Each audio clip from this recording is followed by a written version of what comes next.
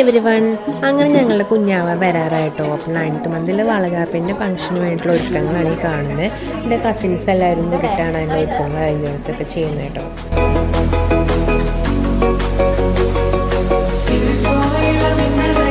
ഡെക്കറേഷൻസിന് help ചെയ്യാൻ വേണ്ടിയിട്ട് മീനിനെ വിളിച്ച് മീൻ ഫുഡ് കണ്ടപ്പോൾ ആൾ അങ്ങോട്ട് പോയി. പിന്നെ മമ്മിയും മാമിയും കൂടിയിട്ട് നമുക്ക് ഡെക്കറേഷൻ ചെയ്യാൻ വേണ്ടിയിട്ടുള്ള മാല കിട്ടുന്നുണ്ടായിരുന്നു ഡെക്കറേഷനൊക്കെ ആയി ഞങ്ങൾ നോക്കിക്കൊണ്ട് നീ അവിടെ ഇരുന്നോളാൻ അവർ പറഞ്ഞിട്ടുണ്ടായി പക്ഷേ ഇങ്ങനെ ചെയ്യണ കണ്ടപ്പോൾ ഞാനും കുറച്ച് നേരം പോയിട്ട് അവരെ ഹെൽപ്പ് ചെയ്ത് ഡെക്കറേറ്റ് ചെയ്യാനായിട്ട് അത് കഴിഞ്ഞ് ചിഞ്ചും നിന്ന് വെച്ചിട്ട് അവരും ഫുഡ് കഴിക്കാൻ പോയി.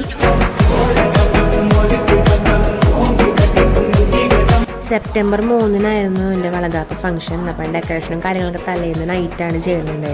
നൈറ്റ് എല്ലാം അവർക്ക് ഫിനിഷ് ചെയ്യാൻ പറ്റിയ പിറ്റേ ദിവസം മോർണിംഗ് ചെയ്യുന്നവർ അവർ പോയി. പക്ഷെ അവരെത്താൻ ലേറ്റായി അവർ വന്നപ്പോഴേക്കും ഏട്ടന്റെ വീട്ടിൽ നിന്നും എന്റെ കസിൻസും എല്ലാവരും എത്തിയിരുന്നു. അപ്പോൾ ആ തിരക്കിനിടയിൽ അവർ ബാക്കി ഡെക്കറേഷൻസ് ഒക്കെ വേഗം ഫിനിഷ് ചെയ്തു.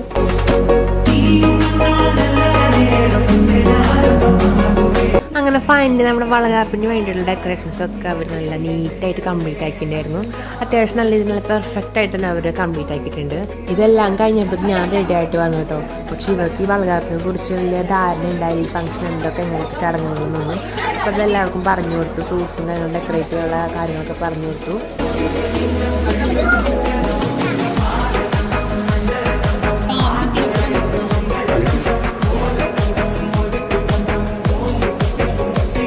ഒമ്പതാമത്തെ മാസത്തിലെ മെയിൻ ചടങ്ങ് എന്ന് പറയുന്നത് ഒമ്പതാം മാസം വയറിനാണ് വരുന്നതാണ് പറയുക അപ്പോൾ ഏട്ടന്റെ അവിടെ നിന്ന് അവർ വരുമ്പോൾ ഒമ്പത് തലം പലഹാരമായിട്ടാണ് വരിക. അപ്പോൾ അതെല്ലാം പൊട്ടിച്ചിട്ട് നമുക്ക് അവിടെ ടേബിളും ഡെക്കറേറ്റ് ചെയ്യാൻ വേണ്ടി എല്ലാം പൊട്ടിച്ച് അതിൽ നിന്ന് കുറച്ച് എടുത്തിട്ട് ടേബിളും ഡെക്കറേറ്റ് ചെയ്ത് വെച്ചു കേട്ടോ.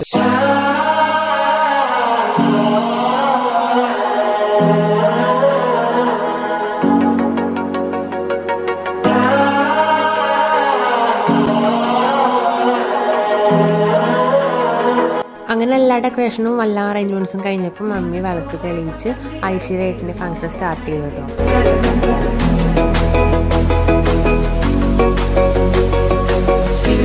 അങ്ങനെ ഏട്ടനാണ് കേട്ടോ ആദ്യം തന്നെ ചടങ്ങുകളൊക്കെ സ്റ്റാർട്ട് ചെയ്തത്.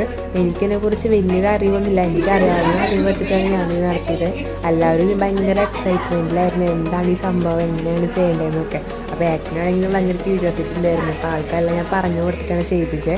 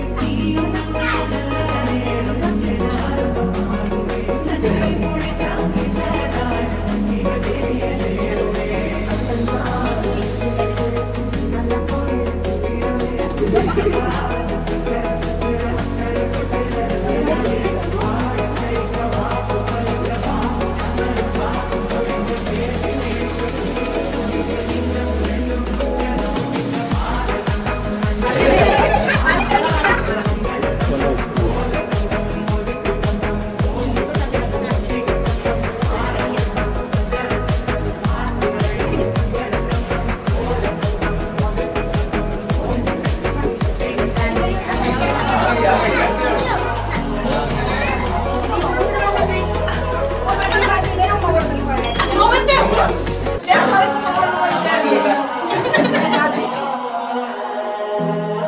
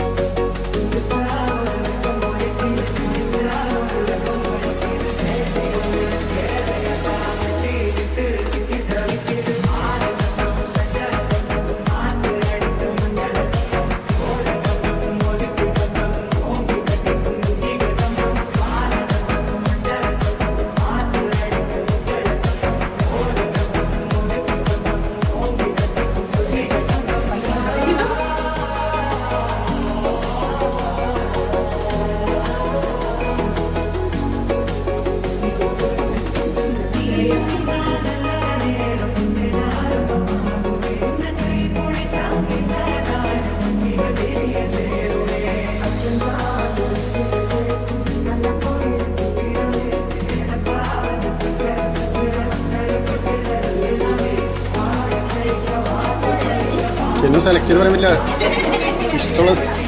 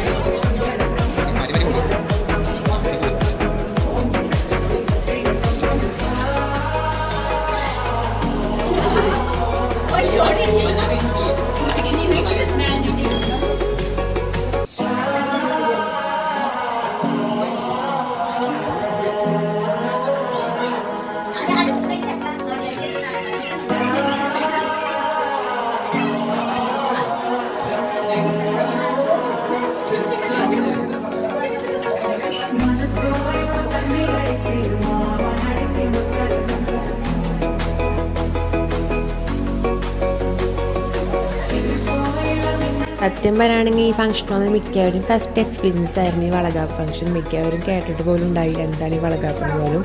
അങ്ങനെ എല്ലാവരും നല്ല ത്രില്ലായിരുന്നു അപ്പോൾ ഞാനും നല്ല രീതിക്ക് എൻജോയ് ചെയ്തു. എല്ലാവരും നല്ല ഹാപ്പി ആയിരുന്നു.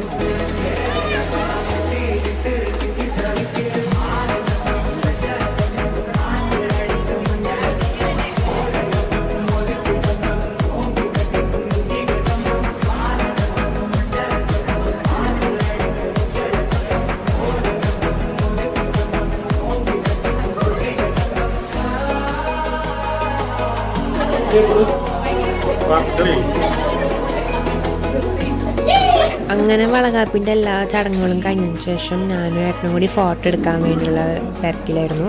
അങ്ങനെ രണ്ടുപേരും അങ്ങോട്ടും ഇങ്ങോട്ടും നിന്ന് കുറേ ഫോട്ടോസൊക്കെ എടുത്തു. ഫോണിലാണ് കേട്ടോ ഫോട്ടോസൊക്കെ എടുത്തത്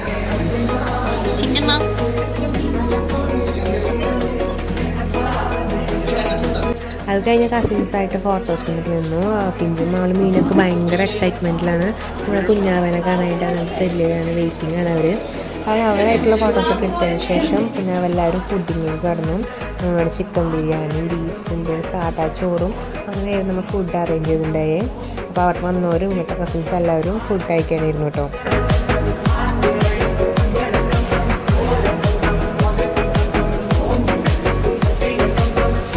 അങ്ങനെ ഫുഡിങ് എല്ലാം കഴിഞ്ഞപ്പോൾ അവിടെ നിന്ന് വന്ന കസിൻസ് എല്ലാവരും ഇറങ്ങാൻ കേട്ടോ. അപ്പം എല്ലാവരും യാത്ര പറഞ്ഞ് ഇറങ്ങാനുള്ള തിരക്കിലാണ്.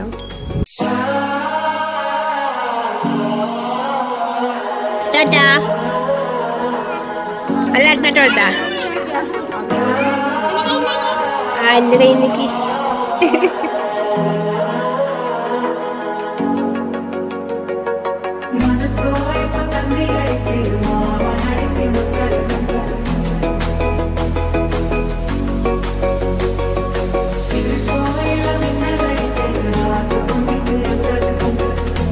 നമ്മുടെ വീട്ടിലൊരു ഫംഗ്ഷൻ നടന്നു കഴിഞ്ഞാൽ ഏറ്റവും വലിയ ടാസ്ക് എന്ന് പറഞ്ഞ് ക്ലീനിങ് ആണ്. വീട് അത്യാവശ്യം നല്ല രീതിക്ക് കലങ്ങുകളായിട്ടുണ്ടായിരുന്നു അപ്പോൾ ക്ലീനിങ് എല്ലാം കഴിഞ്ഞ് പിന്നെ എല്ലാവരും കൂടി ഇരുന്ന് അവിടെ നിന്ന് കൊണ്ടുവന്ന പലഹാരങ്ങളൊക്കെ പാക്ക് ചെയ്ത് ബ്രദർക്ക് കൊടുക്കാനുള്ള തിരക്കിലായിരുന്നു കേട്ടോ ഇതോടുകൂടി നമ്മുടെ വളകാപ്പിന്റെ വ്ളോഗ് വീഡിയോയുടെ അവസാനിക്കുകയാണ്. താങ്ക്